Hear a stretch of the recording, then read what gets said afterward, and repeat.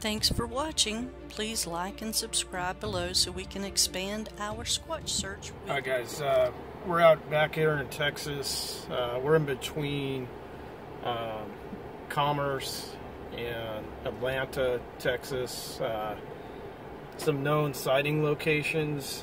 Um, you know, it's almost dark here. It's about the time of a recent uh, 2019 location. Um, someone actually pulled off the main road, turned around, and actually saw a uh, squatch in its uh, rearview mirror. Um, pretty interesting. Um, it was he was actually passing another car to give you a little more story on it all. Uh, and once he passed the car, he actually um, felt like he needed to turn around um, because, or actually get off the main road because he passed a highway uh, patrol person. And uh, once he got off the main road, kind of like we are here, um, turned around and he saw Squatch in his rear view mirror.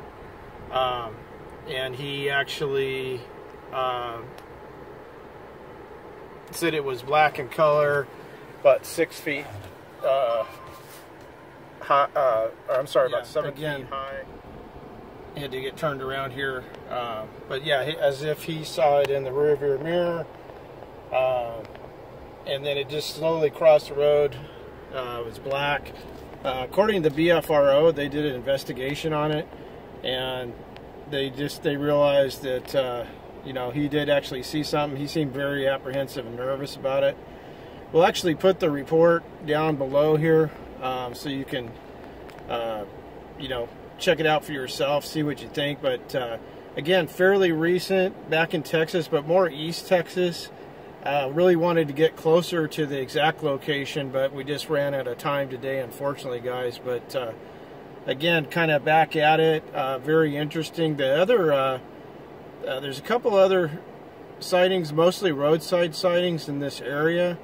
Um, one was a non-BFRO group that did a um, investigation in Commerce, Texas, and they actually um, went to the main road, uh, or I'm sorry, they there was a sighting off one of the main roads. It was kind of maybe three or four miles back off the beaten path, and um, near a train uh, station, a railroad railroad station, and they actually um,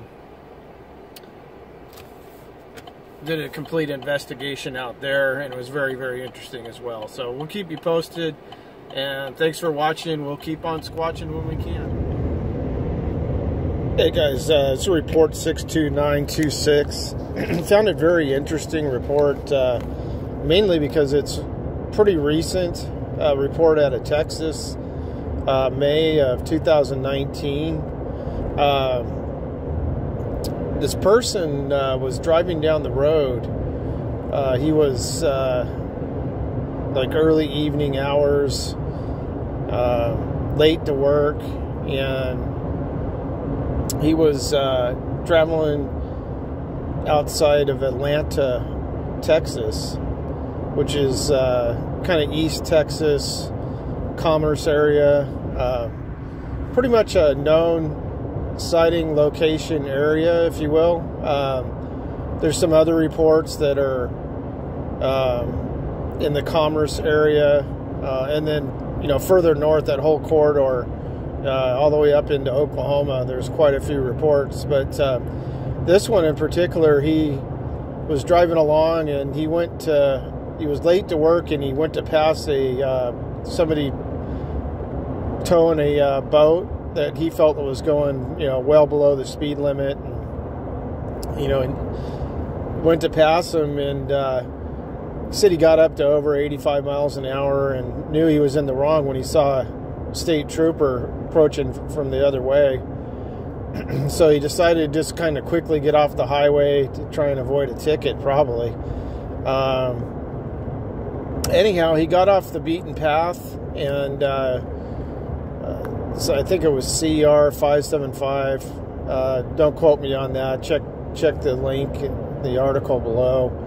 Um, and then you can see the video running is the actual uh, uh, some of the footage we took near this location. Not not exactly, but near it. Uh, actually, between Commerce and um,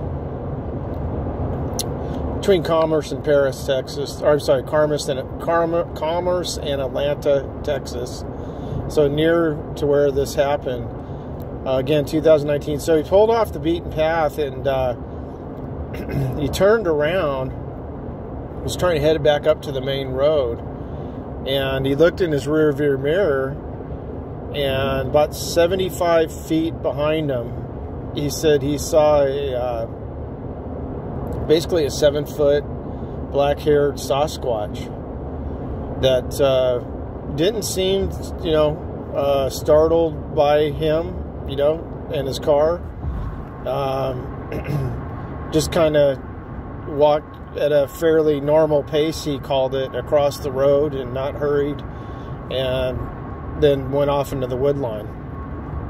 The BFRO investigator uh, who interviewed him felt like he was uh, very kind of frazzled by the uh, sighting, you know, like some are, you know, rightfully so. You see a it's not every day where you see a seven foot, you know, I think he said 400 pound, but more than likely an 800 pound Sasquatch, you know, just walking through the basically tree line and over the road. You know, that's not a common thing. So, um, and the way he made it sound like he was is very believable to him. Um, and the eyewitness went on to say that he never he just never went back to that area. He, you know, um, I don't know if it's because he kind of had that feeling of maybe possibly dread or uh, just.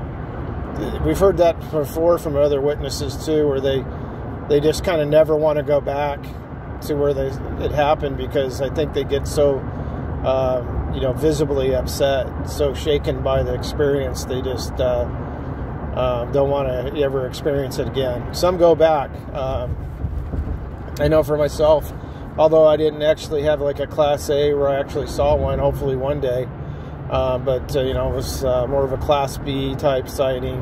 Um, I would definitely go back there again to try and prove it out, if you will. Um, and, you know, I, I actually look forward to doing hopefully a nighttime investigation uh, with our whole crew up there at some point. But uh, again, the one for today was from um, you know Texas, uh, near Atlanta, Texas, um, kind of the east side. Uh, some of the ones we've done before have been more central uh, or north Texas, if you will.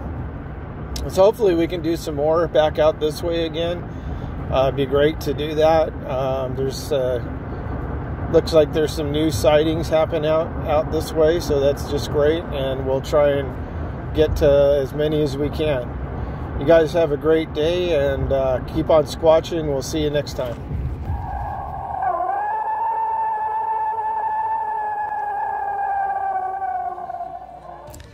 Thanks for watching. Please like and subscribe below so we can expand our Squatch search with you.